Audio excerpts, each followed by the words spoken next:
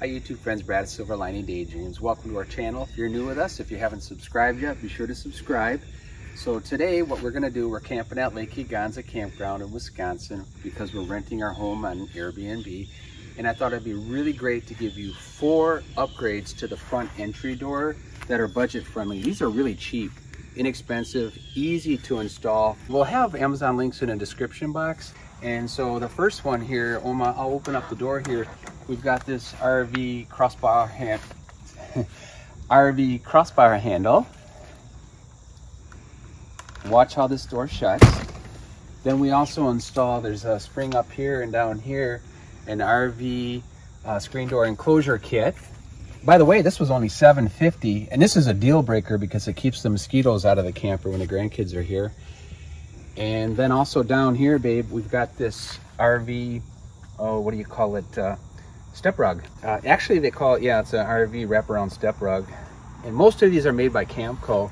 And then if you kind of pan over here, babe, to this RV grab bar or grab handle on the door, we just kept that simple. So super excited. It's another RV Makeover Monday. Let's just get right into this.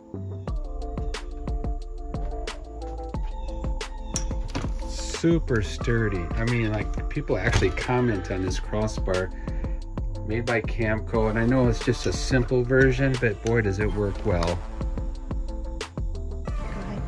Okay guys, so this is my top hinge of the inside screen door. So I'm taking this bottom screw and I'm gonna measure down nine inches.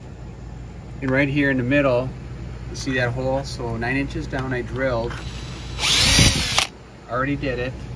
So now I'm gonna take that bottom screw and the hinge and just take it out. Then I'm gonna attach the spring with this screw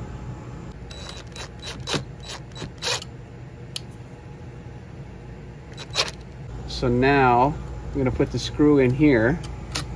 All right, now the issue is is that this to get this down, it. it's yeah, it's not easy to stretch.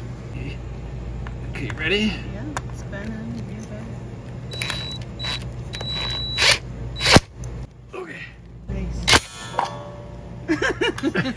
Whoa, I'm falling.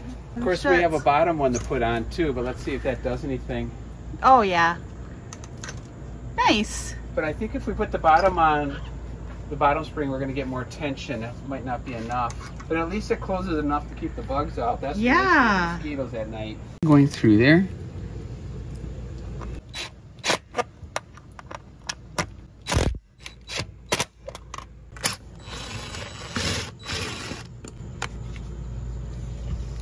Can you use that long screw? This one in there? Sure. The one that was already in there? That's what I'm using here. Oh, I yeah. Yeah, I like it better because it's a beef. Oh, this works better going this way, guys. Mm. You see how I'm... Can going you, down? Yeah, can you see that? Mm -hmm. This might be better, but you don't want it to...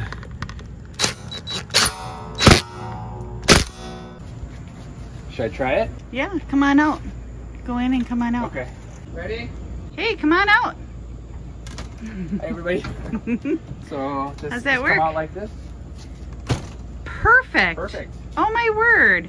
So it would probably close a little better, but it's just the door's hitting a little bit here. I mean, it's an older camper, mm -hmm. but that's enough to keep the bugs out. I think so. Looks good. How much was it? That's a great question. How much was it? I have how, no idea. How much was it? you tell me. uh, we'll put something below. Okay.